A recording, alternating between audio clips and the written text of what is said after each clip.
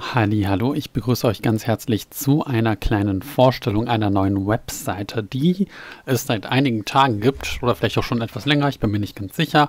Die Webseite heißt followsworld.com und das ist eine Website, die im Grunde genommen eine Art Filebase und Forum gleichzeitig ist für den TSW und für den Train Simulator und für Simrail und für jegliche andere Zugsimulatoren. Ähm, der Name könnte euch vielleicht schon bekannt vorkommen, zumindest diejenigen, die häufiger mal bei mir zuschauen. Die kennen den guten Modder Foley Lantern oder Folles oder Foley unter verschiedenen Namen bekannt.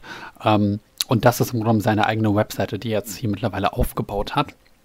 Und hier ist es so, dass äh, auf dieser Webseite, die gucken wir uns mal ein bisschen hier jetzt zusammen an, Link dazu ist in der Videobeschreibung, ähm, hier lädt er unter anderem seine Mods mittlerweile hoch.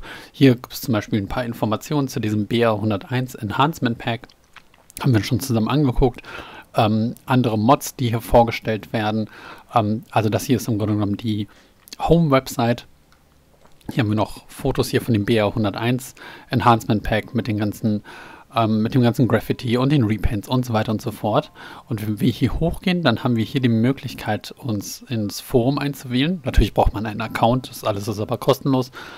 Ähm, wir haben dann hier ein Forum für den Bereich TSW, einen Bereich für den Train Simulator und einen Bereich für Simrail. Hier ist natürlich natürlich gerade nicht besonders viel los. Ähm, das liegt daran, dass die Webseite, wie gesagt, gerade erst recht neu ist und gerade erst dabei ist, ähm, aufgebaut zu werden. Am wichtigsten und relevantesten ist vielleicht die Filebase. Hier sehen wir es auch schon hier Coming Soon. Ein Flixtrain Taurus haben wir zwar so als Repaint, ähm, ganz, ganz normales Livery Designer Repaint schon im TSW, allerdings jetzt nicht als Packdatei Repaint.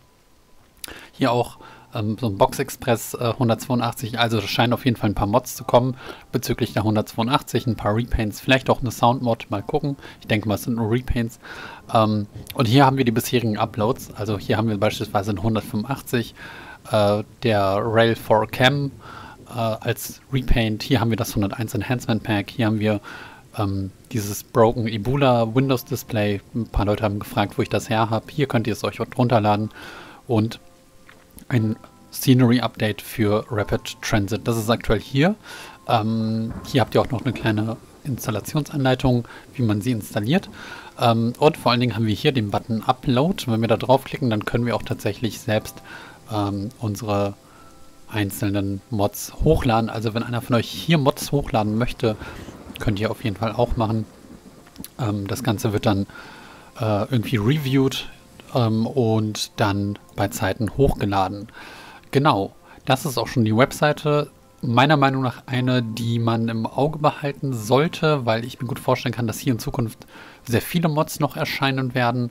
Ob das Forum jetzt so relevant ist, sei es mal hingestellt, aber auf jeden Fall ähm, die Seite für die Mods definitiv eine, die man sich mal merken kann. Einmal irgendwie speichern, irgendwo im Browser speichern und mal ab und an reingucken, ob es da was Neues gibt. Ansonsten wie immer, wenn es irgendwelche neuen großen, coolen Mods gibt, ich stelle sie auch immer vor. Also ihr wisst Bescheid, ne? wenn es neue Mods gibt, einfach einschalten. Gut, ich danke euch fürs Zusehen und hoffe, dass ihr beim nächsten Mal wieder mit dabei seid. Macht es gut, tschüss, ciao und auf Wiedersehen.